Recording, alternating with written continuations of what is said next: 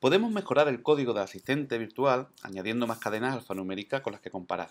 Una buena solución para implementar esta idea es el uso de listas, de forma que a cada orden le corresponda una lista y cada lista contenga cadenas de texto que signifiquen lo mismo. Vamos a ver cómo podemos hacer esto en la práctica. En Scratch tenemos los bloques de variable que nos ofrecen la posibilidad de crear listas vamos a crear una lista por cada orden que deseamos implementar. Encender luz, será la lista que contiene todos los textos que tienen que ver con esa orden.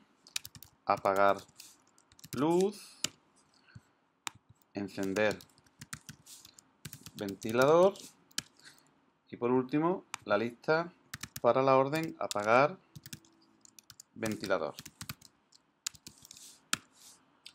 El próximo paso sería rellenar cada una de las listas con textos que tengan que ver con la orden en cuestión. Por ejemplo, para la orden encender luz podemos añadir enciende la luz o encender la luz o enciende la lámpara o cualquier cosa que se nos ocurra que signifique lo mismo, encender la luz. Lo mismo para apagar la luz, apagar la luz, apagar la luz, etcétera. Para encender el ventilador, pues, A continuación vamos a ocultar las listas de la pantalla y el próximo paso sería sustituir estas condiciones, estos condicionales, en los que se compara la respuesta con un texto, por otro condicional que compruebe si la respuesta está dentro de alguna de las listas que acabamos de crear. Podemos hacerlo utilizando el bloque booleano cosa está en lista, donde cosa sería la respuesta que obtenemos del usuario y la lista, pues cada una de las listas que acabamos de crear. Encender luz, dispararía el evento encender la lámpara,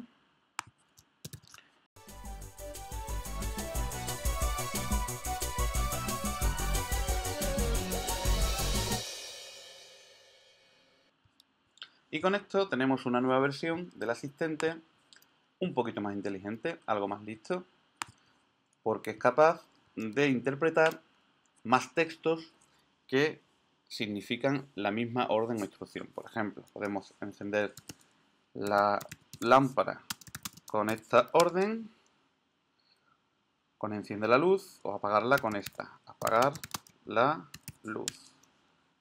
Podemos volver a encenderla con encender la luz, que es otra orden distinta. Con el ventilador igual, enciende el ventilador. O apagarlo con apagar el ventilador.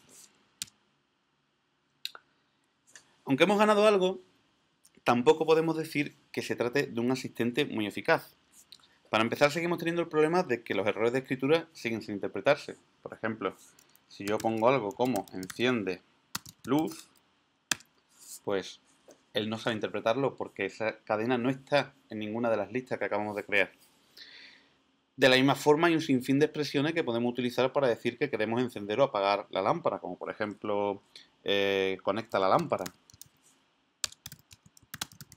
Tampoco la va a interpretar. O ponga el ventilador. Y muchísimos más que se nos pueden ocurrir. Pero es que además existen expresiones más sutiles que pueden utilizarse para lanzar estas órdenes. Por ejemplo, ¿qué calor hace? Obviamente Giga no es capaz de interpretar esa frase.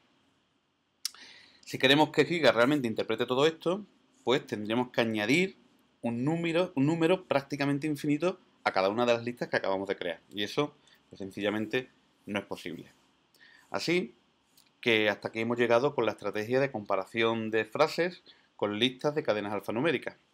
No se puede hacer más, no se puede hacer mucho más si continuamos por esta vía.